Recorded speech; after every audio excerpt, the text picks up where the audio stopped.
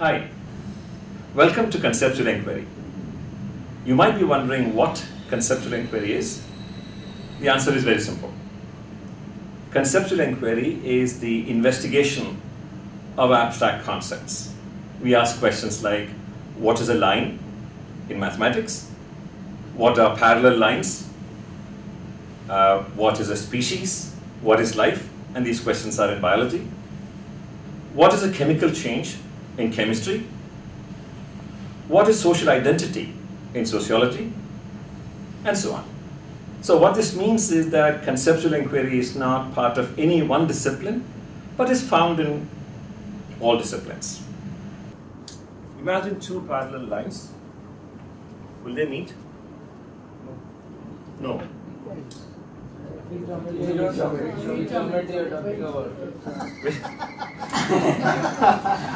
Yeah. You're getting wise. Okay. All right. So I should say in Euclidean geometry, they will not meet. How do you know this? This is an axiom. In order to understand the meaning of the statement that parallel lines do not meet, I have to understand what parallel lines are, right? Do you understand what parallel lines are? I do not understand what that expression means. I am not joking. I do not understand it. Now, you might think it is very strange that you understand it and I don't understand it. What could be the possible reason? Well, possible reason is my understanding of mathematics is more limited than yours. So let me let me pursue that hypothesis. All right. In which case, you should explain to me what parallel lines are. All right. So what are parallel lines? We are trying to investigate the concept of parallel lines, and that is conceptual inquiry. What you mean to say is that if you have two lines on the same plane, if those two lines are straight, and you measure, find out the perpendic perpendicular distance between them. It has to be like this, not like this, right? And at any other point, you again do the same thing. These two should be equal. Right? And that's another way of putting it is to say this is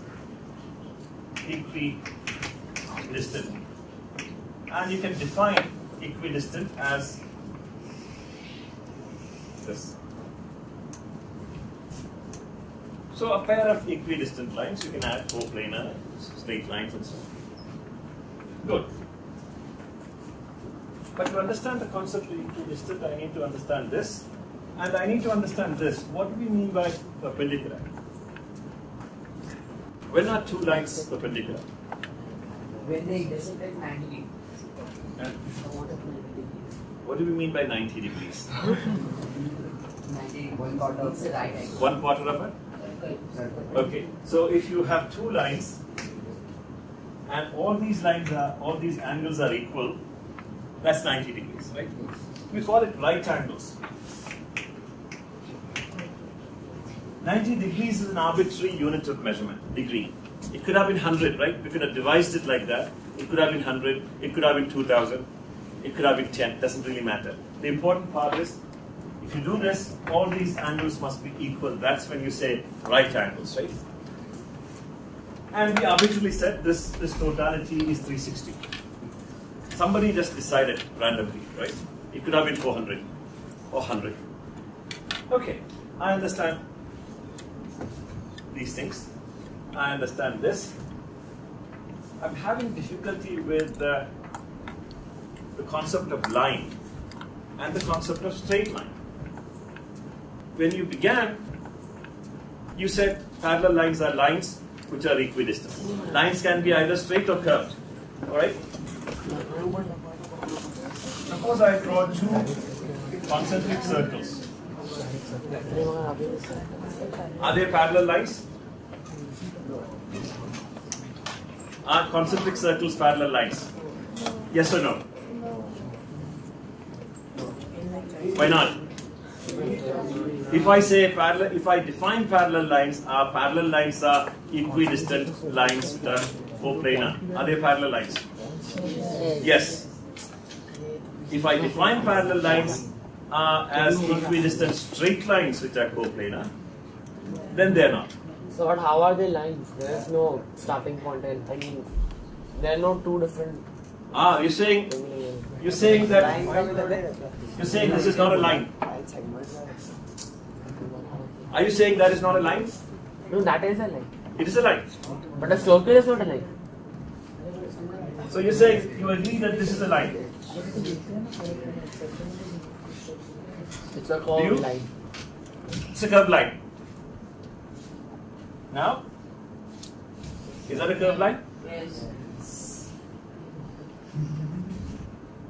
Now, Yes. so suddenly it ceases to become a line. So, why is it that this is a line but this is not a line? I need to okay. I think my beginning problem is really I don't understand the concept of lines. Okay, let me leave it like that. You agree that if you if you treat this as a line, as a curved line,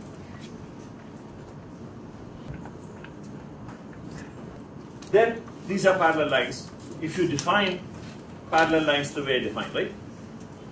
So the answer to the question depends on the definition or the concept of parallel lines that you are talking about.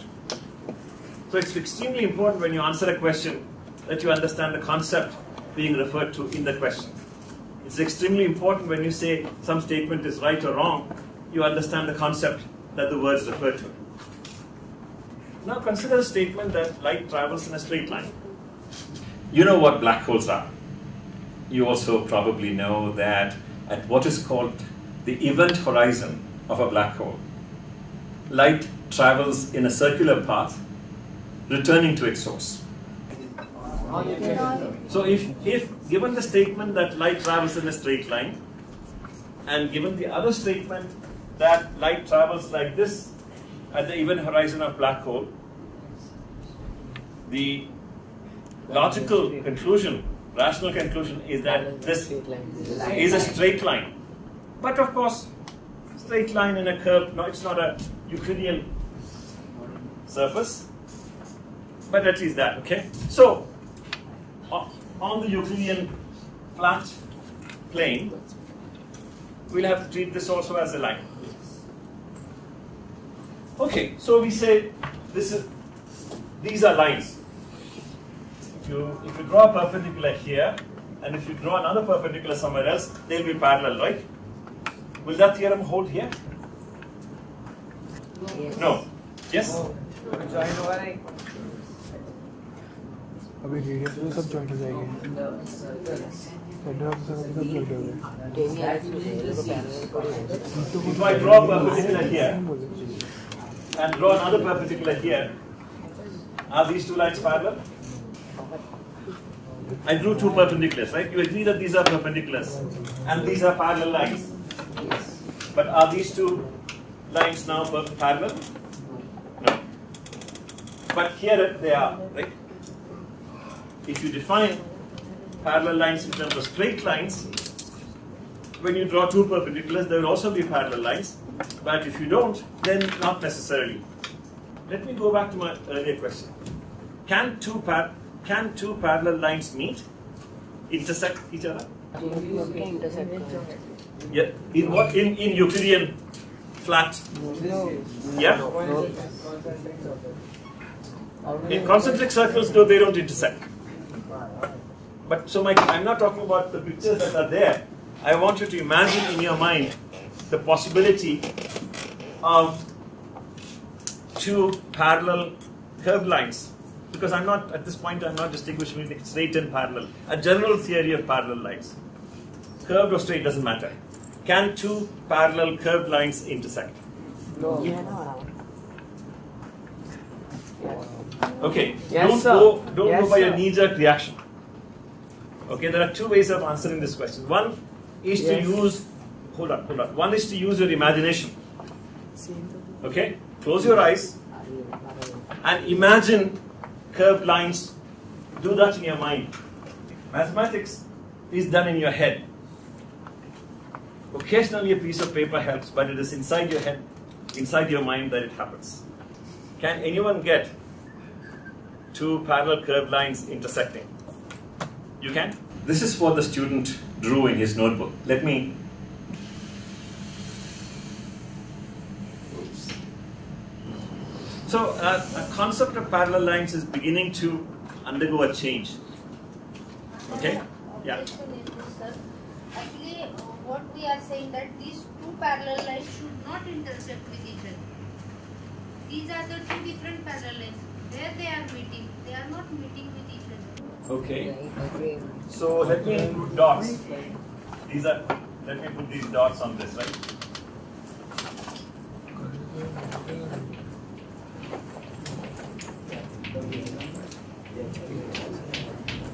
This is the first line, and the second one is second. This is one line, and here is another line. You see this crossing the other line? Right? You can do this experiment yourself. Do you disagree? Yes. Okay, let me try again. Here is one line. You agree that's a line? Yeah, right. Okay, the next one, exactly like this I'm going to draw, but this time with dotted lines. This is line A and this is line B. Alright? Let's do this in terms of dots so that it's easy to see. Does the dotted line, line B, intersect with the, with the non-dotted line A? Does, right? So you see that a line can, here, this line is intersecting with itself. So that a curved line can intersect with itself. A straight line cannot. Right? Can it? Can a straight line intersect with itself? In, in Euclidean geometry, no, yes, it, it, it, cannot. But what about other geometries? Can it intersect with itself? Yes. yes. Which geometry? Non-Euclidean. Non-Euclidean geometry. Uh, in spherical geometry, there are many non-Euclidean geometries. In spherical geometry, can a straight line intersect itself? Yes. yes. You're giving me two answers too quick. When I get an answer of the type that you can give in an examination, I'm very skeptical. Okay? If I ask you a multiple choice question that takes exactly one minute and, and you answer yes, obviously you have not thought about it, right? It's a knee jerk reaction. I want you to answer questions thinking about it, but of course, you can't practice this art if you're answering exam questions. If you think and answer exam questions, you will flunk. right? But that's not what I'm trying to do. Take your time, think. But okay, I leave that question to you. This is for your discomfort. but I want to know, I want to know, I have serious problems. I don't know what a line is, curved or straight, I don't know. What is a line? A line. Wait, wait, let me write that. Line is a set of points. What is co-linear? Two points. Co-linear means on the same line, right? So you're going to have trouble saying a line is a set of points on a line that wouldn't work, right? That is called a cyclic, a vicious cycle. Not this cycle, but conceptual cycle.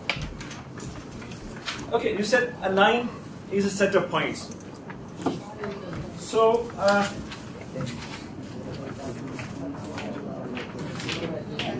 is that a line? Yeah? You didn't say that. It is the shortest distance. Okay, that's, that's not fine. So you're saying that this does not constitute a line because these points are not next to each other. Right? Alright, let me see this. This line has a point here and a point here. Are these two points next to each other? But sir, there are many points lying between those two. Hold on. You said a line is a set of points arranged next to each other. These two points are not next to each other, therefore it is not a line. Change your definition if that you, you don't want that result. So what you're saying is that some points are next to each other, but there can be other points which are not next to each other. But I don't get that result from your definition. This is why I'm finding it very hard to understand what a line is. One minute. I asked you earlier, do you, do you understand what a line is? You all of you said yes. Let me ask you this question again. Do you understand what a line is? Right, good. You see, the beginning of knowledge is the awareness of ignorance. Alright? If you think you know, you're not going to learn. So the first step is to realize that we don't know. A line is a set of points with the smallest, having the smallest possible distance between two adjacent points. So if you have one, two is the next one, and three is the next one, four is the next one. So these are consecutive numbers, integers, right? So if you say a set of consecutive so if you say one, two, seven, Everything are different. that wouldn't be a line, right? Because between two and C, uh, between two and seven, a few points are missing, all right? Neighbor, okay? So essentially what you're saying is this. A set of points would constitute a line if every point has a neighbor, right? Except the two ends. So if you have three, four, five, six, seven, eight, that would constitute a line because take any point five, this has a neighbor here and a neighbor here. I don't know if you, if you know the concept of successor. Have you heard this? In Peano's uh, axioms? Have you heard this? Axiom, not Euclid's axioms, but axioms of integers. No, it doesn't matter. Doesn't matter. The idea of successor, 5 has 6 as a successor, 4 has 5 as a successor, and so on. So those are the neighbors. Fine. So if you have the concept of consecutive, which depends upon the idea of neighbors, then you say every line except the starting point and the end point, if they exist, must have two neighbors. So this doesn't constitute a problem, right? So here is a point here, and here is another point, here is another point. There are two neighbors. Take any point, then it will have two neighbors. The fact that these two are not next to each other doesn't matter, right? So if I get all of you together, I can ask you to create a line by making sure that everybody stands touching each other in a line. So any human being will have two neighbors, except those two at the end.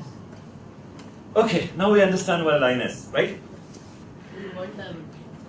In one, yeah, yeah, line is a one-dimensional object. Otherwise, the point can be 1, 2, 3, 4, 5.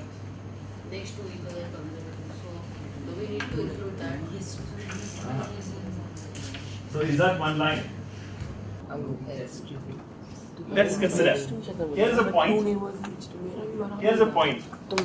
We have defined a line as a set of points such that every point has exactly two neighbors. How many neighbors does it have? Four. So that wouldn't be a line, right? Okay, good. I thought you were going to destroy everything, but you know that was a good question. But luckily we are saved. So, So Yeah. is about like right angle, right Right angle. angle. Yeah. Is that a line? Sir, um, I'm not asking if it's a straight line. It's a line, right? If this is a line, you. If this is a line, all right. Then you can do this. You might have a reason not to do so. It doesn't matter. We might think of those niceties later. But for now, let's we can say that this sounds reasonable. Yeah. So, does this mean that line is a one-dimensional or a two-dimensional object? No, it has to be well, we, we can define line as a one-dimensional object. That's a standard definition. We can... Curved line is also one-dimensional object. It's not a two-dimensional... One-dimensional object is something that can exist on a flat surface. Right? Oh, well, you can... On a, on a, on a flat surface, you can also have two-dimensional objects. So, uh, that is a two-dimensional object, but this is a one-dimensional object, right? What does it mean to say one-dimensional anyway? You know? Yeah. Only only length. Technically speaking, one dimension means if you're thinking about variables, remember the concept of variables? So you have a variable x and a variable y, right? So this is one dimension, this is another dimension. So don't think only of geometry. Alright? Okay. So what if it is a curved line? Then this definition. What if, what is a curved line? It is a curved line. And it intersects itself. Yeah, curved line is still Then it will a one-dimensional object, right? No, no, No, no, not about the this, definition of, definition. definition of line. You said it is a set of points which are uh, which have two two neighbors each except for the starting and end point. So in a curved line Curved which line. comes back to intersect itself, then the intersection point And has four neighbors. Excellent. Excellent. The question is this. This one is okay. You will have only two neighbors, exactly two neighbors. What about this? Okay, we are back. Sir, two points are overlapping that line. Sorry?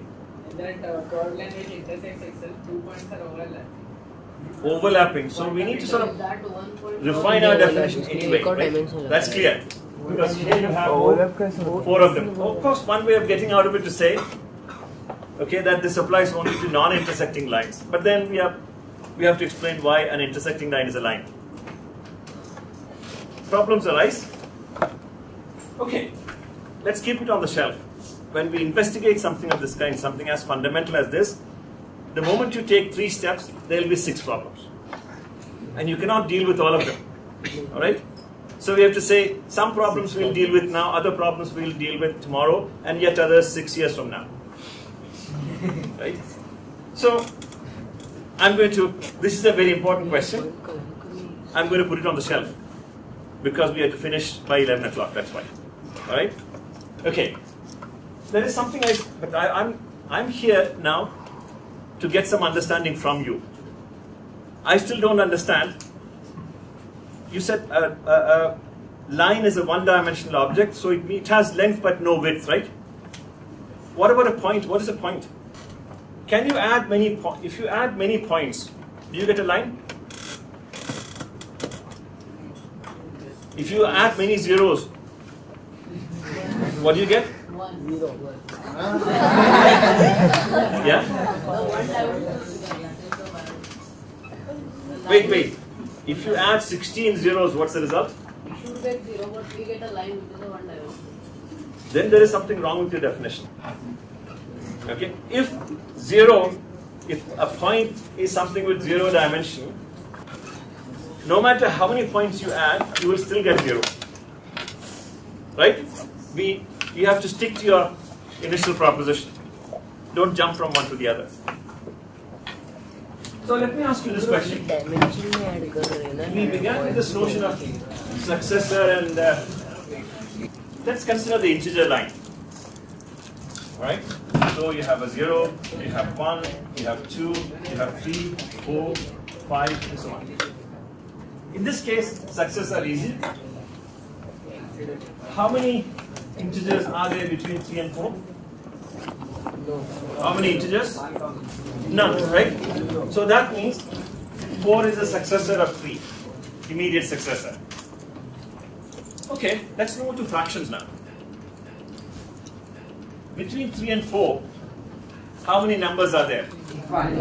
Infinite.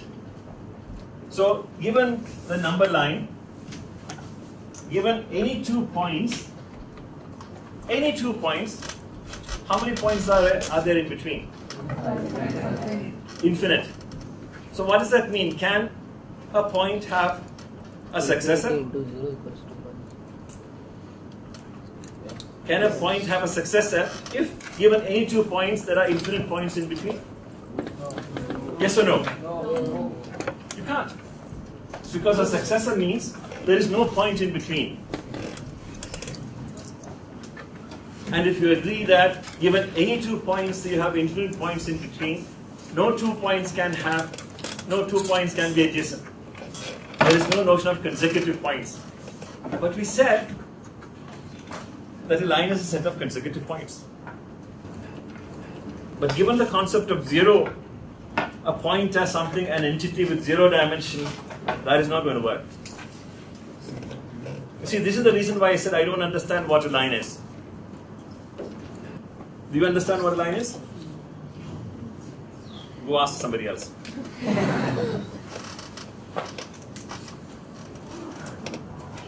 if you are sufficiently confused, that's the beginning of wisdom. Right? Look, these are not easy questions to solve. And they, they- you're not going to solve them, solve such questions in the space of half an hour or so. But I'm happy if you have understood that a simple question such as a line, what is a line, is an extraordinarily difficult question. Students think they know this because they see some sentence in a textbook, they don't understand the meaning of the sentence. They get the sentence and they think they understand it. But a sentence is not what we are trying to understand. We are not trying to, you know, think in terms of words. We are thinking in terms of concepts. We are engaged in serious, rigorous conceptual inquiry. Right? So we, we have come to the conclusion, which is good, that we don't understand what a line is. Do we understand what a straight line is? That's right. Okay, you think you understand it? Line segment. Yeah, but I know that Euclid uses the word line to mean infinite line. That's very confusing. I've always found it irritating. So I'm going to say this is a line. I'm not going to use the word line segment. This is a finite line. A finite line means so that's much easier. You understand it better. Otherwise, it's very confusing to say a line has no beginning or end. It's like God. Okay. All right. Suppose you have two points, point A and point B, and you can say that AB is a straight line if the path from A to B is the shortest possible path. Shortest path. So if you have some other path, like this, this path is shorter than this, so this is not a straight line, this is a straight line. In mathematics, you cannot take a foot rule and measure, right? That's not how math works. That's how science works. So for a scientist, this is not a problem. Right? For Newton, distance is not a problem because distance is measured in terms of a foot rule or a meter rod. But meter rods and foot rules don't exist in math. Those are physical objects, not mathematical objects. So what is distance? What do we mean by that word? That is something on a blackboard that's a physical entity. This has width. This thing that I've drawn on the blackboard is a physical object, it's not a mathematical object. When do you say two lines have the same length? When do you say one line is longer than another? Under what circumstances? What's your what's the concept of distance you're appealing to? Number of points, okay. How many points do you have between these two?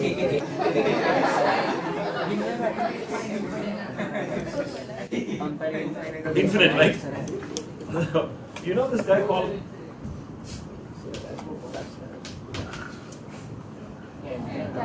right? He had a lot of things to say about infinity. And what was the result? He became insane. Alright? There is a novel that I want you guys to read. Do you read novels? Yes. Good. The title of the novel is A Certain Ambiguity. This guy, this guy is a mathematician. He did his master's in, uh, I don't know if he did his PhD, master's at Stanford. This guy is a. His grandfather apparently was a mathematician. So this book begins with his grandfather. Okay, let's get back to where we started. What I'm trying to illustrate, what I've just tried to illustrate is a certain mode of conceptual inquiry in mathematics. You can ask similar questions about a whole bunch of other things, uh, most of which mathematicians don't have any answer to. What is a number? You think it is easy, right? You ask a good mathematician, they'll say, oh, don't ask me the question, I don't know. So I've asked this question, all right? What is energy is extremely difficult to answer. If you ask a good theoretical physicist, they would say, I don't know, don't ask me, go ask somebody else. What's a number? Mathematician would say, oh, I don't know. I have asked many people, what's a straight line? And they would say, no, no, ask me something else. Alright? So it is not fair to ask you that question because, you know, mathematicians themselves don't know, but it is important to ask that question and see where it can take you. Yeah. Yes, um, can a line be defined as uh, a one-dimensional set of infinite points? You will still have difficulty. The whole difficulty lies with Euclid's notion of point as a zero object. I mean, zero dimensional object. That is where all the absurdities come from. So you have to do something else, but I'm not going to tell you what it is. All right.